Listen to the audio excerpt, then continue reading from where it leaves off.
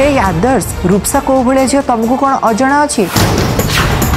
ଆଉ ତାପରେ ବି ଯେ ତମର ବିଶ୍ୱାସ ନ ହେଉଛି ତମ ଘରେ ତ ଚାରିଆଡ଼େ ସିସିଟିଭି ଲାଗିଛି